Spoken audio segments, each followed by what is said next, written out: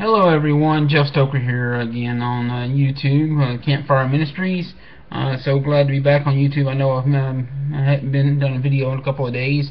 Uh, just been in some prayer on uh, where God wants me to go next on this. Um, and uh, I think where He wants me to go today is uh, we're going to talk a little bit about judging today. You know, it's, um, as I'm out, as I witness on Facebook and and out and about witnessing and stuff, I oftentimes run across one of her, you know, so I wonder when you know we point out what sin is to somebody when we you know maybe give some examples of sin sin uh, they they use you know the thing oh you're being judgmental and the Bible says not to, and they they, they claim well the Bible says not to judge.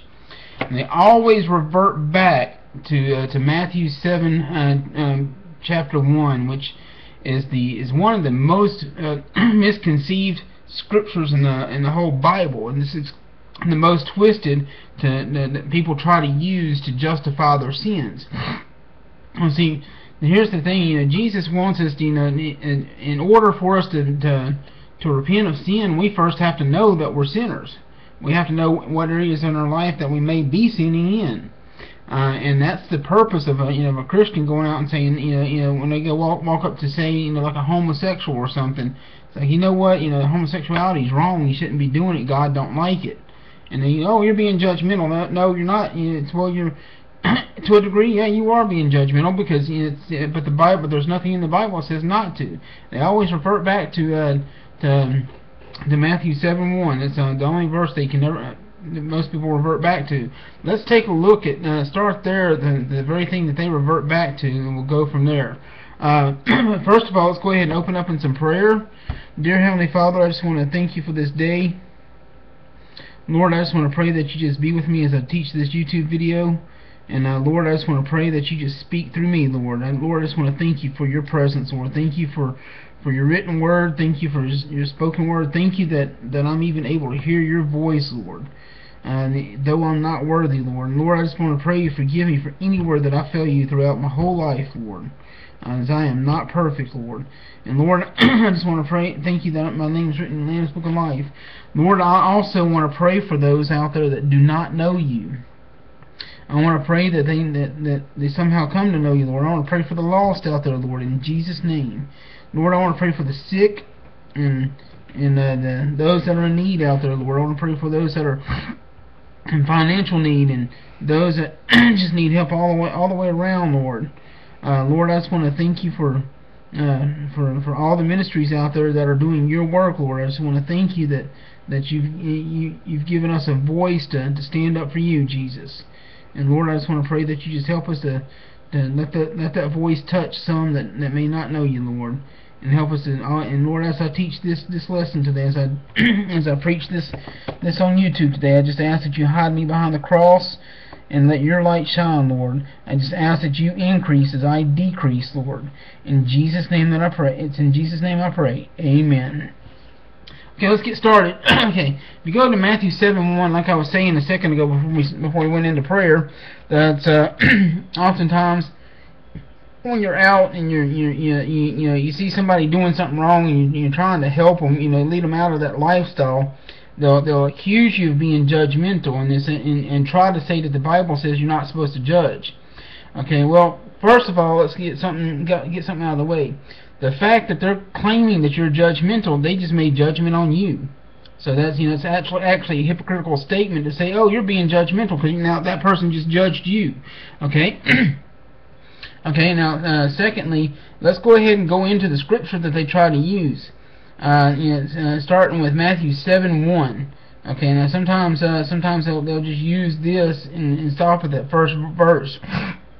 And they don't continue on. So Matthew 7 1 reads this Judge not that you be not judged. Now, what does that really mean?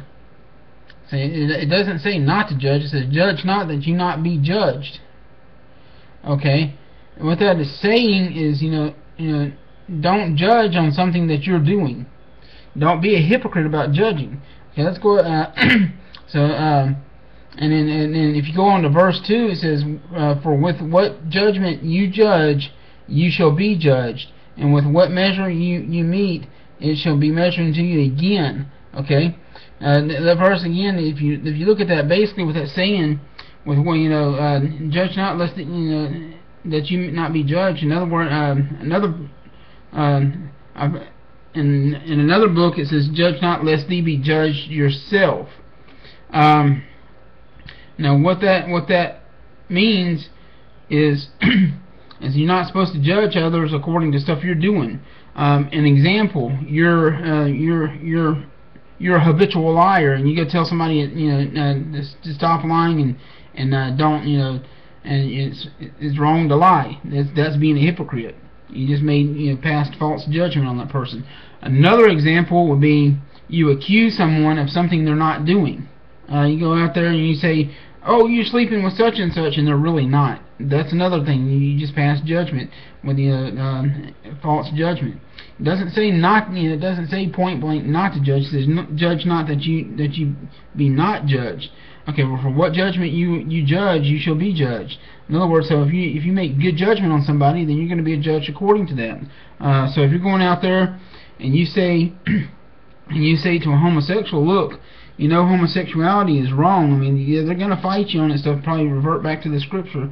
Um, yeah, but you know, and then you go on to say, and look, you know, but you know, Jesus can forgive you for that. All you got to do is accept Christ in your heart, and He'll lead you out of that. That's you know that's that's the proper way to judge when you you, you know use it for the benefit of God. Okay, now going on with the with it uh, in uh, Matthew seven, let's go on to verse three and see what that says. Why beholdest thou the mote in thy brother's eye, but considerest not the beam in thine own eye? Okay, why does it ask that? Okay, if uh if you uh, uh, if you're in if you're living in a certain sin, you know, if it's a if it, you're you're trying to talk to somebody about something that you haven't overcome yet, then then you're blind to it yourself. You can't you can't really show them how to get out of it because you're doing it yourself. Um, another example I can give on that, um, let's say um, now you know I believe anything that that that you put in your body that poisons it, you know, intentionally put in your body that poison it, poisons it, um, you know, is is is a form of a sin too. Um, so let's say I'm going to use smoking as an example, and it's just an example. Uh, let's say I smoke. Let's say I've been, you know, I'm, I'm a smoker, and, uh, and I walk in, I see somebody else smoking a cigarette, and I walk up to them. You know, smoking is bad for you. You shouldn't be smoking. You know, God says not to smoke, but yet I'm sitting there with one in my hand. So that falls in that scripture. You know, and why beholdest the mote in thy brother's eye, uh, and, and considers not the beam in thine own eye. So that, in other words, if you're if you you don't you can't go you know tell somebody something's wrong about uh, that they're doing if you're doing it yourself. If I'm out partying and drinking and you know uh, the, uh, sleeping around with everybody, I can't go tell other people not to do it because it's because I'm doing it myself. Uh, you know, Jesus tells us to walk by example. Um, uh, the, you know, Jesus tells us to walk by example. So the thing to do is is uh, is you know you, you you live your life for Christ, and then when you do come across someone that did it, that's you know. Uh, so you don't walk on, you know, go around sleeping with people and stuff like that as a Christian. And so when you have overcome all that stuff, then you can go tell others you know, about it how to get out, how to get out of it. Okay, now moving on uh, to verse four. Or how wilt thou say to thy brother, Let me pull the mote out of that thine own eye, and behold, there is a beam out of their own? Thou hypocrite, first cast out the beam out of thy own eye, then thou can see clearly to cast the mote out of thy brother's eye. So again, right there in verse 5, and you, you know, you go try to preach somebody about something, you know, something that you're involved in, uh, it's not going to be have no no effect because it's going to make you a hypocrite. But if you first take that beam out of your eye, then you can see clearly on how to help that other person. And at that point, you can make a righteous judgment. There's two different types of judgments, you know, that, you know that's the uh, that's talked about here. You know, unrighteous judgment. You blame somebody for something they're not doing, or you know you're trying to you know trying to lead them you know out of something that you're doing yourself. It's like the blind leading blind. Um, okay, and then uh, and if you go on, if you go on to that, uh, go on down a little bit further on that, it uh, it'll actually say, beware of the false prophets. Um, and beware of false prophets, for you shall know them. And basically, it says, Beware of the false prophets which come to you in sheep's clothing, but inwardly they are ravening wolves. And it goes on, You shall know them by their fruits. Okay, if it says that you'll know false prophets by their fruits, doesn't that mean you got to make some sort of judgment to understand who you know you know to know their fruits? The word fruits here means their actions. Uh, no, we don't get to heaven by good works alone. We get there by faith. But you'll know the, the the wolves in sheep's clothing by their actions. Are they going out and saying, "Oh, you shouldn't sleep with such and such," and then they're but yet they're they're carousing around with, with men or women themselves? So if they are, then that's going to be a wolf in sheep's clothing. Um, or maybe in in the church they're, they're preaching one thing, but outside, you know, behind, you know, know, in the, amongst their congregation, they're preaching one thing, and out and about they're doing something else. That would be an example of a wolf in sheep's clothing. So are they preaching false doctrines? And again, you'll know them by their fruits. Uh, what do the fruits look like? Are they leading people to Christ? These are things to look out for and, and see. In order to see that, you've got to make some sort of judgment. So the Bible, according to this, does not condemn judging. It condemns how you judge. Um, is what it condemns. It condemns false judgment or unrighteous judgment. Um, you shall know them by their fruits. Uh, do men gather grapes of thorns or or figs of thistles? Every good man, um, every every even so, every good tree bringeth forth good fruit, but a corrupt tree bringeth forth evil fruit. So see, you're making judgment. How do you know if that fruit's good or evil? You got to discern or judge whether it's good or evil. So, so again, that that's most misconceived. You know, a lot of most of you people try to justify their sins you know, you know, when you try to, you know, when you're trying to lead them out, a lot of times we go revert just to to that one scripture, "Judge not, lest thee be judged," and they and they stop right there, but they don't know the rest of it. Okay, now let's go ahead and take a deeper look at that. Go with, uh, let's go to John 3:16. Um, a little bit past that, actually. We're going to start with John 3:16, though.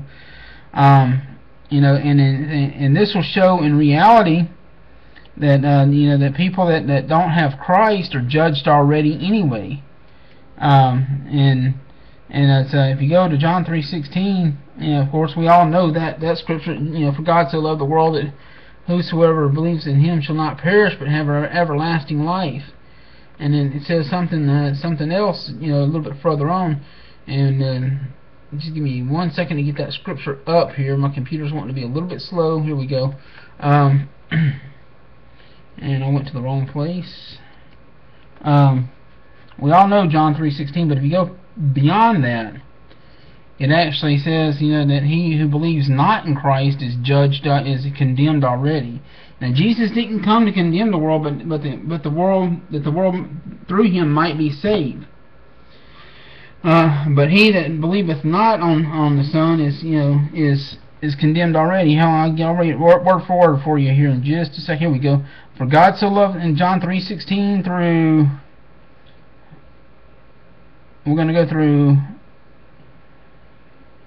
through 19. Okay? And it says, uh, For God so loved the world that he gave his only begotten Son, that whosoever believeth in him should not perish, but have everlasting life. Uh, for God sent not his Son into the world to condemn the world, but that the world through him might be saved. And the Son is talking about Jesus Christ here. He that believeth on him is not condemned, but he that believeth is uh, that believeth not is condemned already, because he hath not believed on the name of the only only begotten Son of God, which is of course is Jesus Christ. And this is the condemnation that light is come into the world, and men love darkness rather than light, because their deeds were evil. Uh, and and we're going to go ahead and go to 20 on this.